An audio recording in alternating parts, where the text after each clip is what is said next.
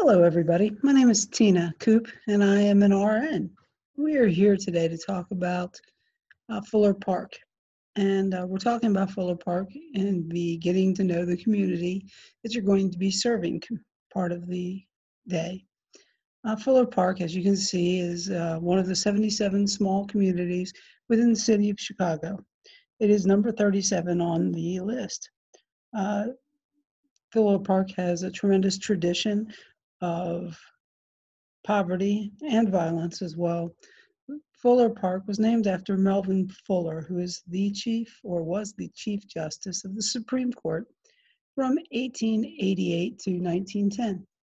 He was also the South uh, the South Park Commissioner from 1882 to 1887. And that's one of the reasons that Fuller Park was named after him. Fuller Park has been with us for over 100 years. It was first originally settled by the Irish uh, and then followed by the Germans. Both of the, the, Fuller Park has always been a lower poverty area to middle income, mostly lower poverty area. As you can see, this is the park that's within Fuller Park and uh, is, as I said before, named after it. And it is a good facility that has um, many good areas, basketball courts, places for children to play. Um, so it is a good, good center for the community. Uh, let's talk a little bit about Fuller Park itself. It's a two mile long stretch. Uh, it is one of the smallest communities uh, within the uh, Chicago area. Uh, the uh, during uh, during World War One to World War Two, uh, the Irish and the Germans kind of moved out, and the Slavic uh, and uh, Latino population and uh, the Black population started to come into this particular area, particularly as we get towards 1950. We see that happening again, this is still a uh, low, low income area at this point, but um, the population became the majority black by 1950. Um, then we start in around that time, Don Ryan, Dan Ryan Expressway was created to make a link uh, between downtown Chicago and the outer edges. And when they built Dan Ryan, they ended up taking a third of the community. Dan Ryan Expressway runs basically through Fuller Park or to the edge of Fuller Park. Um, and it was not a bad thing initially that that happened. At that point, the Fuller Park area had uh, an unusual problem in that it had 30% of the population in that area that didn't even have indoor plumbing uh, which was quite unusual for the 50s, 60s areas. Usually, you know, that didn't exactly, wasn't really normal. Um, many of the people that uh, lived at Fuller Park were, like I said, lower to working class people, and they worked at like the union stockyards. Um, so once uh, Dan Ryan was built, uh, you know, that kind of made an overpass. And anybody, you guys have all been on the Dan Ryan Expressway, but it's an overpass. It's kind of an, goes over all of these uh, not as uh, good income areas and, and into the city uh, to make a nice path for people going in and out. Unfortunately, it doesn't do a lot and didn't do a lot for the for those areas, and particularly Fuller Park. It didn't do a whole lot for them. Um, by the time uh, we rolled around to uh, the 1970s, um, the Union Stockyard shut down. So what little um, people that did work at the stockyards didn't have anything, you know, didn't have any work any longer. So that made it even more difficult, which made it ripe for gang use. Uh, so in the 70s, there was a, a, several prominent gangs, one being the Black Peas and the Gangster Disciples. And in the 80s, it was the uh, vice lords that were the, uh, you know, were the main group during that. As you can see, the Dan Ryan Expressway, you guys are pretty familiar with that, but this is a picture from back then, uh, the, what it took. one of the positive things about Fuller Park is Eden Place. Uh, Eden Place is a um, it's a nature facility that was not a nature facility when it started. Uh, there's a man by the name of Michael Howard that uh, noticed the three acre lot that basically had become a trash dump for everybody and anybody that wanted to, dr- to dump anything there. And he was very concerned about the lead uh, poisoning of the kids in the area. And so he tried to get that cleaned up and, and went really to move, uh, le- legitimately move uh, heaven and earth to try to get this um, changed. And he did a wonderful job. Uh, he was able to get this center center developed. It, uh, uh, you know, he led the cleanup, got the center development, and uh, it actually has won awards. Uh, you know, uh, it's natural landscape. It has plants and animals that are, you know, sim, you know, you know, to the region. it's very bio bio diverse and uh, it was actually uh, the Eden Place was uh, prominent in a PBS documentary about Eden's lost and found. So it's something that they're very proud of there, and uh, I know Michelle Obama actually has made it as a one of those things that um, that uh, helped the community. But honestly, I don't know if it uh, did enough to help the community, but it was definitely a good start as you can see, this is what the one of the issues with the community is is that it's it's dying for a lot of different reasons. We can talk about the stockyards that closed down in the uh, 70s, like we said, which stopped a lot of that. But there's also things that have come up, and we'll talk about those later, that have helped the population. But you can see that it's just consistently gone down, and some of that consistently gone down seems to have to do with the crime rates uh, and the impoverish, impoverishedness of the area in general. Uh, but this is a sad commentary for a, a community that is, um, again, one of you know one of the oldest in Chicago. So let's talk a little bit about the demographics of the people that live there. Um, not surprisingly, of course, it's 91% black. We talked about that. It hasn't really changed since those since those uh, 1950s. There has been a, a uptake of Hispanics at 5% and some whites at 4%. Uh, the average of 52 to 48 male to female is pretty similar.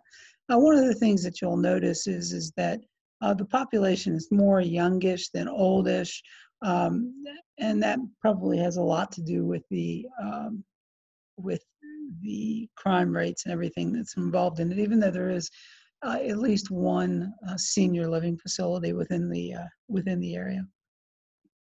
So let's talk a little bit about those crime rates because I think that uh, it's interesting to look at. So we're going to look at it and we're going to talk a little bit about what what's happened. So the total crime rate of Fuller Park uh, is uh, these are per per 100,000 as it says on the top. And you can see if Fuller Park's crime rate is twice over twice that of the national average, uh, and you know probably 100 30, 40% over Chicago's rate. Uh, and that's something that needs to be worked on. But where it really tips the scales a little bit, as you can see, is the uh, violent crime rate, uh, which is uh, Chicago's violent rate is you know almost three times the average, but uh, they tend to go even more specific and be four over four times the national average for violent crimes, which is uh, quite you know quite despicable and not something that we something that needs to be worked on within the community. Um, the property crime rates and of course this has to do with the fact of of the people that are moving in or maybe don't want to move in is because there is uh, you know twice the national average uh, and even almost twice the chicago average um, for uh, you know property crimes so people aren't going to really want to uh, to move into this area, and we need to we need to get some people. We need to to get the population uh, up and get the get the community uh, involved in in turning a corner. So let's talk about some things uh, about this. Uh, and these are things that people would look at that are moving in. The reason why we're showing this to you, you know, you guys are going to be serving the people in this community, so you need to know uh, what what's there, what's not there, and things that we can help with. Um, as you can see, it talks about the livability, uh, the crime rate we talked about. Uh, the cost of living is actually slightly lower, and, and the housing is is exceptionally lower. Uh, but again, the, the crime rate is is the, the horrible thing, and also the school systems. But then again, I think the crime rate, the school systems all have um, have that balance in place, where uh, when you see uh, those kinds of things happening, they tend to go together, unfortunately.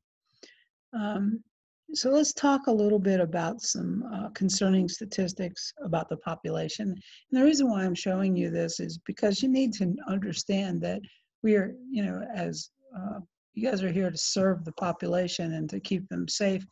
Um, but you know, you're also here to help them to to grow and to be, uh, you know, take care of themselves better. So this is a little bit of what we're going to talk about with that. Um, Chicago um, statistics talk about Chicago and, and that. We'll see the cancer deaths.